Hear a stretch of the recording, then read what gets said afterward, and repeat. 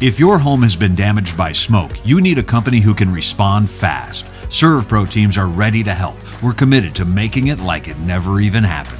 ServPro of North Eugene, Northwest Lane County.